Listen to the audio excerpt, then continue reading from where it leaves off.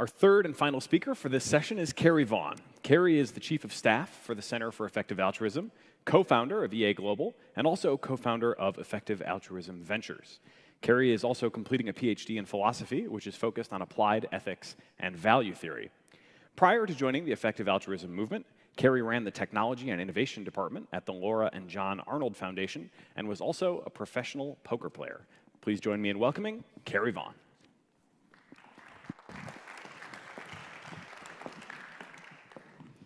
Hey, y'all. How's it going? Can everybody hear me okay?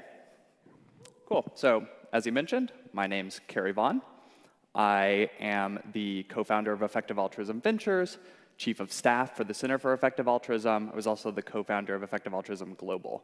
And before I get started, I just want to send a quick shout out to my wife, Lauren, who stayed up until the early hours of the morning to make sure I had some beautiful slides for my presentation. So thanks, hon.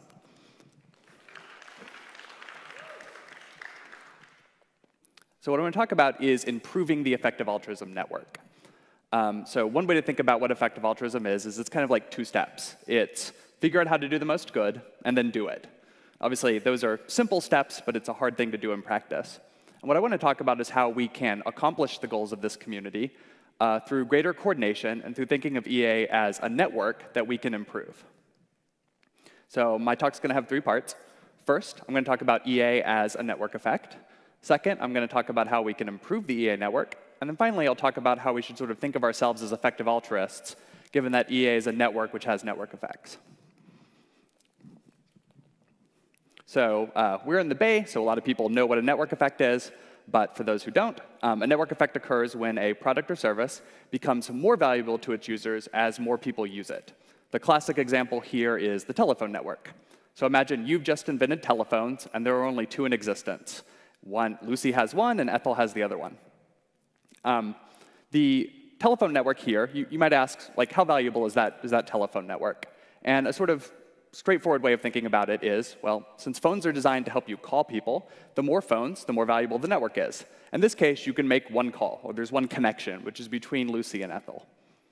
But now let's imagine we increase the size of that network. Now we have five phones. There are actually 10 possible connections here, even though we've only increased the number of phones by four. So as that phone network grows, um, the network gets more valuable. And then if you extend it to 12, you've got an increase in seven phones, but 66 possible connections. So the way these network effects work is as you add more to the network, everybody gets value from that, and the total value of the network increases more rapidly than the people you're adding. Um, the sort of like mathematical way of thinking about this is known as Metcalfe's law. Um, and that says that the value of a network is proportional to the square of the number of connected users in the system. And you know, that's the sort of basic equation um, up there on the screen. Um, I think EA has network effects um, in two places in particular, but probably in a bunch of other ones that I didn't think of. Um, so the first is in comparative advantage. So one thing that's really nice about the EA community is we can all specialize in different skills and different abilities, and then that becomes a source of value for everybody that's a part of the EA community. So you can be really good at making money, and you can donate your money to other projects. You can develop specialization in talking to other people about the community, in direct work, you know, marketing, uh, what have you.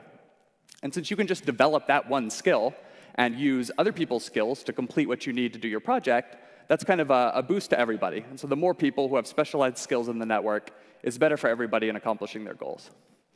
Um, the second way that we have network effects is through the marketplace of ideas. So this is the, uh, the idea that if you have ideas compete in a free, sort of open market, the truth tends to emerge. And um, if that's the case, then more ideas competing, more experience, more background that people bring to the table, um, the better ideas we'll get, and then that benefits everybody. OK, so basic idea, EA has network effects, and I explained what network effects are. So given that framework, which I think turns out to be a pretty powerful framework for understanding um, the EA community, what are some ways that we can increase the value of the EA network? And what are some ways that we might accidentally decrease the value of the network? And I'm going to talk about five.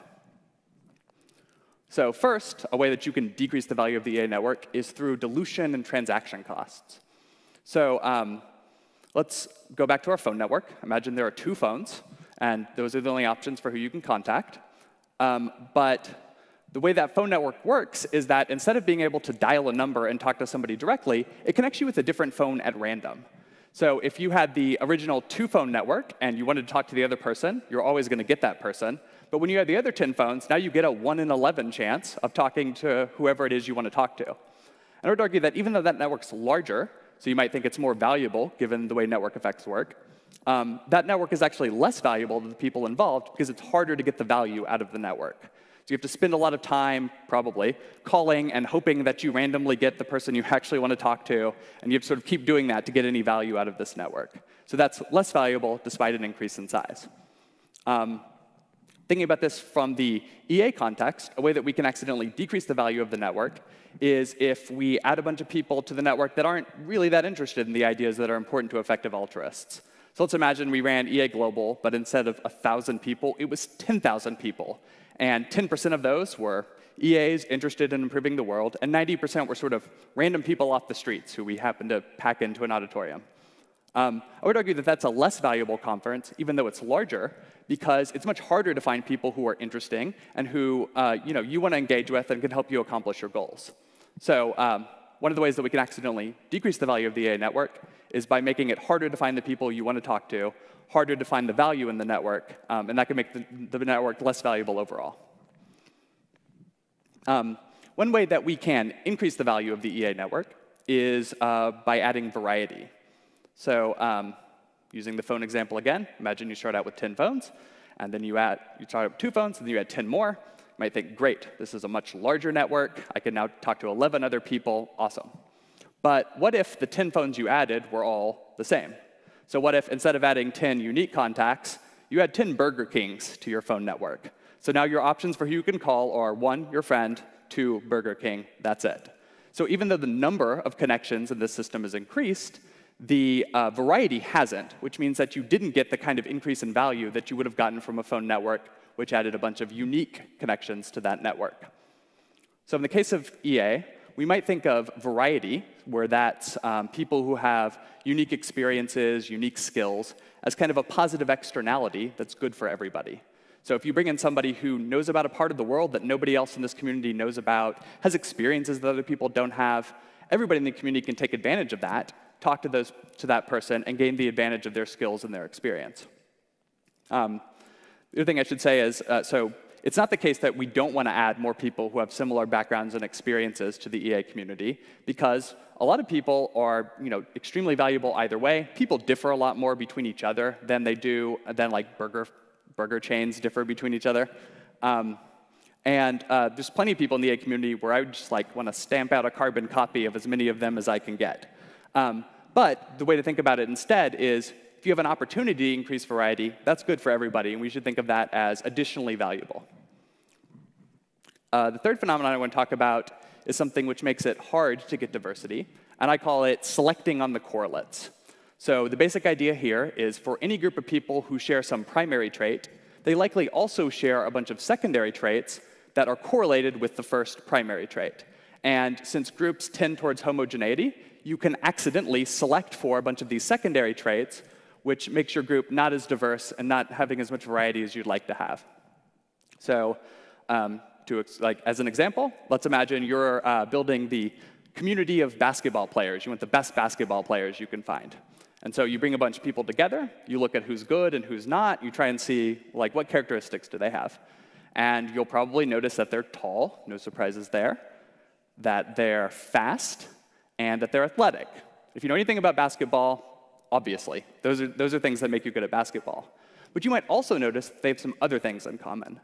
They might all have back trouble. They might drive a truck or an SUV, and they might be urban instead of rural. And that's because those traits are presumably correlated with the first traits. So if you're tall, like I am, I have back trouble, and it's easier to have back trouble if you're taller. Um, it's harder to fold yourself into a small compact car if you're tall, so you might want to drive something larger. And then just like 80% of the people in the US are from urban environments instead of rural environments, so that's just more likely on base rates. Um, but if you didn't know how basketball worked, you didn't know what made you good at basketball, you might get confused. You might end up with a team of people who are tall and have back issues because you thought that was the thing that you know, really made somebody good at basketball.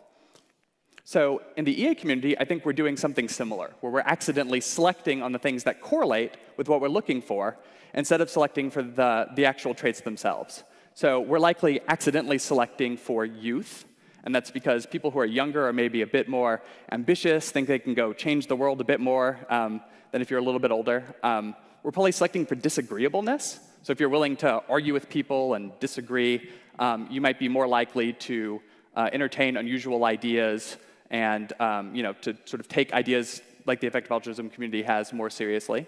And then we're probably also selecting for people who are politically liberal, just because the demographics we draw from tend to be more liberal than conservative, especially in the US context.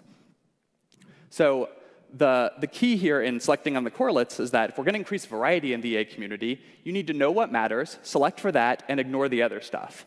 So what we're looking for are altruistic people who uh, think analytically, or you know, the values that Tara talked about in her talk. That's what we're looking for. So find those people, you know, connect them with the community, and then you know, let the other stuff fall away and don't worry about the other stuff. Um, another area I want to talk about is donor coordination. So um, I've been on kind of both sides of the table when it comes to raising money in the EA community. I ran a project called Effective Altruism Outreach and had to raise money there. And then I've also run Effective Altruism Ventures, um, which was a project that helped connect entrepreneurs with uh, investors who wanted to you know, support their projects. And what I've noticed is that raising money in the EA community is really different from raising money in other contexts. So let's uh, imagine, for instance, that I am a big time venture capitalist and I'm with Google Ventures. And I meet an inventor who has an amazing product that I think is going to radically improve the world, probably make me a whole bunch of money. And after meeting with the inventor, I go back to my partners, talk to them, and we were thinking, okay, well, how much do we invest? And the answer to this is complicated. It depends on you know, how much money you have left in the fund and when you're going to fundraise and so on. But what's important to notice is you have an incentive to give a little bit more money than you might otherwise because you're going to get compensated for that with more equity. So if you overinvest, give more money than the founder needs, that's fine. Um, and in, in addition, you might have to compete with other venture capitalists to actually get the deal. So you might have to offer more money for lower equity, better terms, and so on. Now let's imagine instead I'm Effective Altruism Ventures. So meet the same inventor, has an amazing product, I think it's really going to improve the world. How much should I invest? The answer boils down essentially to as little as I can, or as little as I need to to make the project successful. And the reason that's the case is because as an altruist who's focusing on um, just you know, improving the world, I don't care if I'm the one that gives the money to the, product, the project. I just care that the project comes into existence at all. And if I can get somebody else to do it, I can use my money to fund something else. So uh, that leads to a very different set of incentives and a very different uh, sort of funding environment than you might see in like a venture capital market. And I think this uh, leads to some unique problems that we have in donor coordination in the effective altruism community that don't exist elsewhere. So uh, I've got four. The first is a problem I call the minimum viable fundraise. So the way this works is if I'm starting a new project and I'm talking to donors, um, their incentive is to give me as little money as they can for the project to get off the ground. Because again, they don't get more equity, they don't get more good in the world, it would appear, by giving more money. So they just want to like test the project and see if they should keep giving money to it. The problem is that for founders themselves, um, this can cause them to make worse decisions than they would make otherwise in ways that are like a bit subtle and a bit hard to see. So they might not uh, grow the project as fast because they ended up with less money. They might uh, have a harder time recruiting because the funding is a bit more unstable. You know, there's some problems like that. So because of the because the uh, donors are acting in a rational way, giving small amount of money to see if the project works, we might be getting a globally worse solution to the problem of funding new projects. Another potential problem is what I call the last donor in problem.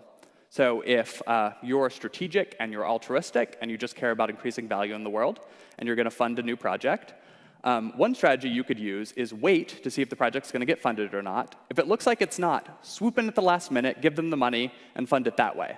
And the reason you might do this if you're a funder is it makes it more likely that um, your funding is the reason the project is going to exist. So if you wait, maybe other people will fund it, you'll keep the money, and you'll give it to something else that you're also excited about. Um, so that seems to make sense. It's kind of a rational approach if you're a strategic, altruistic donor. But for projects, it means there's more uncertainty around funding, or it'll look like funding's going worse until later in the fundraising process. You might get false signals that people don't like your project. They're not, they're not willing to support it. And that can be bad for, for what other people think about the project. Um, and it can also create an incentive to kind of uh, present your project as a bit weaker financially than you might have otherwise if you were raising money in a venture capital market. Um, so again, donors are acting rationally, individually, but globally, maybe we're getting a slightly worse solution. Uh, the third is the funding uncertainty problem. So um, the tradition in effective altruism is that projects raise about 12 months of funding and like 6 to 12 months of reserves. And they usually raise once a year, twice a year, something like that. Um, and this is good for funders to fund in smaller increments because they can get more data, make a different decision on the basis of how the project's doing, and decide whether they want to continue investing in the project or not. Um, but for projects, it means it's harder to make long-term investments because you don't know how much money you're going to have six months from now, 12 months from now.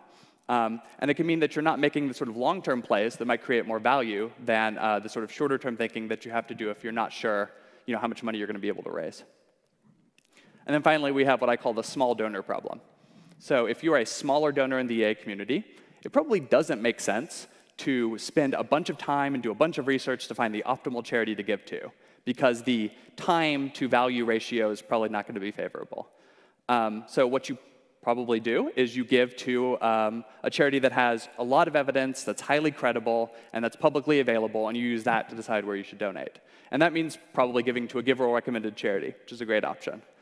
But if everybody does that, I think you might get a total pool of funding that is uh, less valuable than it could have been otherwise. So um, small donors might want to collect together, and they might want to fund higher risk, higher reward projects than GiveWell recommended projects, like the kind of stuff that Open Philanthropy uh, Project funds. They might want to fund um, projects that turn their money into more money to uh, GiveWell recommended charities like Giving What We Can. Or they might want to pool their money and fund projects which need um, some set amount of money to launch it all, like a new startup. So while each of the donors are acting in a rational way individually, perhaps collectively they're not doing the thing that's optimal for the, for the EA network. And then the final sort of implication of thinking of EA as a network effect that I want to talk about is critical mass and critical decay. So one of the things that makes network effects really powerful in the venture capital market for, you know, for projects like Facebook and Twitter and PayPal is that when the network reaches a certain point, which they call critical mass, it becomes a good idea for uh, other people to join that network because they'll get value out of it. And then when people join the network, the network is now more valuable, which means more people have a reason to join it, which means it's more valuable, and so on. And that can lead to pretty rapid growth. Um, one way that we might think about the future of effective altruism is that we want to create that kind of critical mass that makes it a better idea to join the EA community, even just looking at your selfish goals, than it is to not join the EA community. So we could make a community which uh, you know, networks you and connects you with people such that giving away 10% of your money is still better for your career and still better for how much money you have than doing otherwise.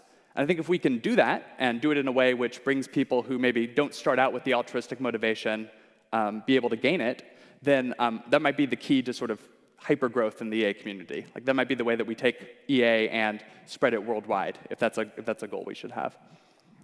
Um, the flip side of critical mass is critical decay.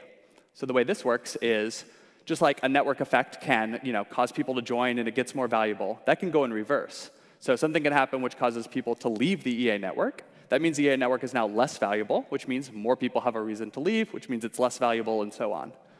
And the implication here for movement builders and for the EA community is that effective altruism might look more robust and stronger than it actually is, and it might be the case that if something happened where a number of people wanted to leave the community, that that would trigger a wave of other people leaving because the value of the network is decreasing. So I think we should think of EA as a really valuable, but also probably pretty delicate thing that we need to uh, sort of steer and work on together to make sure it accomplishes its goals. And then the final thing I want to talk about is what this means for how you think of yourself um, as an effective altruist and your, your kind of role in, in the community. Um, what I have on the screen here is how Will, in the book Doing Good Better, um, kind of introduces or explains effective altruism. And uh, I don't say this lightly because Will is my boss, but I think he's actually got it wrong here. I think this isn't the best way to explain effective altruism. So uh, maybe I'll pause for a second and you can sort of think about what, what might be wrong here or what, what might I think is wrong with this kind of way of explaining it.